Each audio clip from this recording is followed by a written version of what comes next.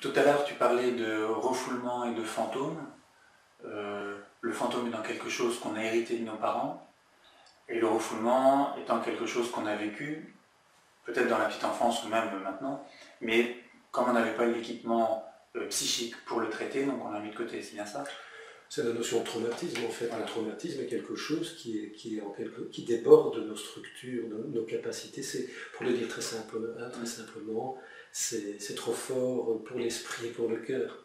Et donc, euh, il est impossible d'en parler, d'en faire quelque chose. Ça va être mis à la cave. Ça, c'est le traumatisme. Hein, voilà. Et donc, savoir que le point de départ donc, en fait, oui, un, donc un fantôme est un héritage, alors qu'un refoulement est un événement biographique. Mais un événement biographique, excuse-moi de te couper, un événement biographique peut très bien ensuite, en circulant de génération en génération, donc ce qui était non dit, non parlé ou refoulé, peut très bien devenir un fantôme pour celui qui va en hériter par la suite. Ok, c'était ma question. alors, qu'est-ce que tu veux nous dire des, fantômes et des transmissions, alors justement, de ces fantômes? Comment ça se passe, la transmission? Alors, dans son livre, Anne Ancelin, donc, euh, dans, son livre Avec mes aïeux, euh, voilà, euh, nous constatons que quelque chose passe de façon évidente de génération en génération, mais euh, elle pose l'hypothèse de, plusieurs modes de, transmission en laissant la porte ouverte à la, recherche et à la, théorisation par rapport à, ces, par rapport à ce phénomène. Elle utilise une métaphore qui est amusante en disant que euh, c'est un peu comme si de génération en génération nous nous refilions une patate chaude euh, qu'on n'arrive pas à tenir en main. Bon, ça c'est pour la petite histoire. Alors sur le plan de la théorie, moi j'adhère plutôt à la théorie du psychanalyste Didier Dumas qui euh, qui, dit en fait que le fantôme est une, est une duplication des structures mentales, des structures mentales de génération en génération. Mhm. Pour être très simple, euh, c'est la métaphore, c'est l'image du copier-coller mental, hein, d'un copier-coller mental qui se ferait avant que nos, que, que nos structures mentales ne deviennent verbales. Donc il parle des structures préverbales de l'esprit. C'est-à-dire que dans les différents stades d'évolution de notre psychisme. Mhm. Didier Dumas parle d'abord d'un stade où nous serions en quelque sorte un psychisme de sensation, mhm. d'un deuxième stade où nous serions un psychisme en image, mhm.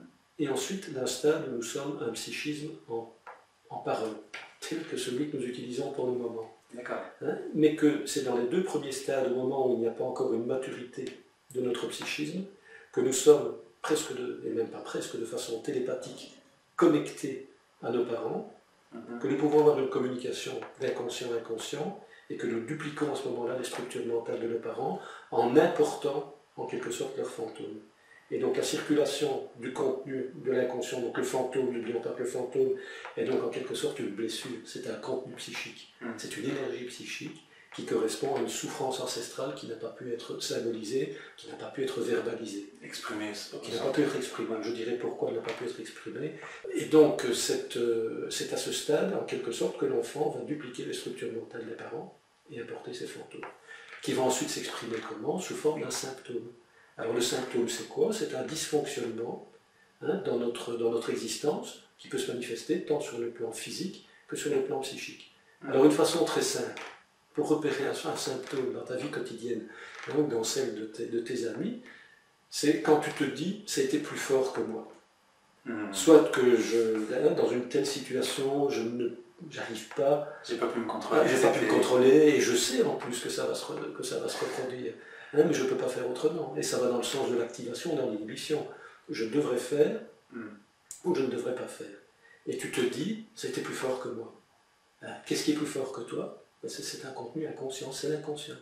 Alors cet inconscient peut être fait hein, du refoulement biographique ou éventuellement de l'héritage des fantômes.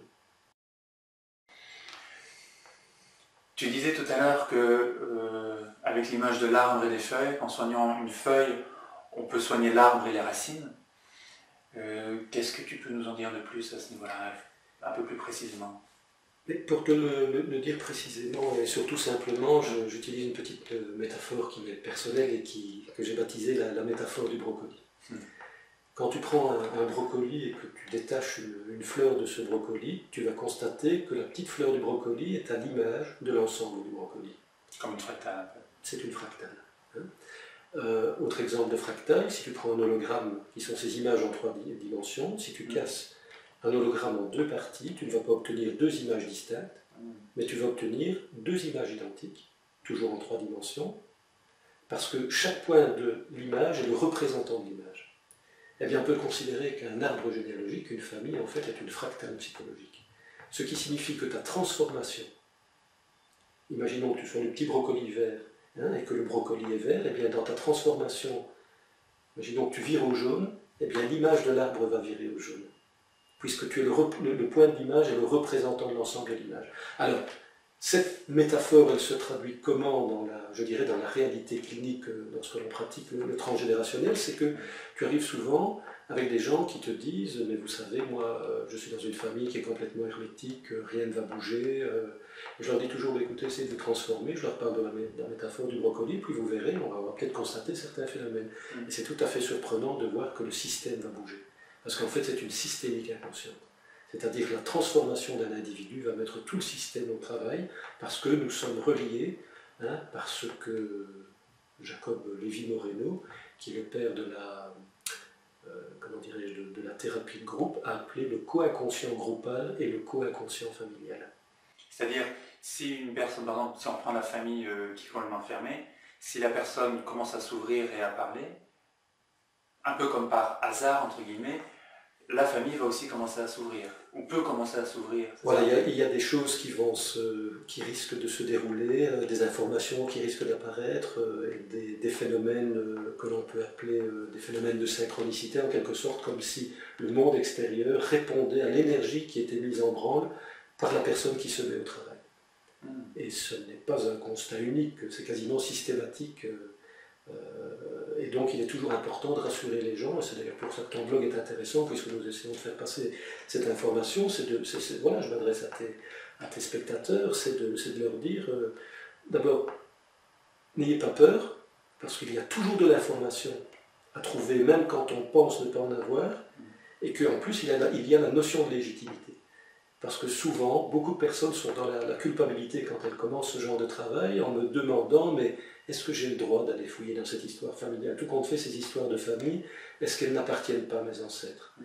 Et comme le dit, pour encore le citer, parce que c'est un personnage important dans, ce champ par son apport théorique, il est d'ailleurs décédé, euh, donc Didier Dumas, dit vous pouvez aller dans cette histoire parce que vous êtes dans votre famille, c'est votre famille et vous avez le droit d'y aller.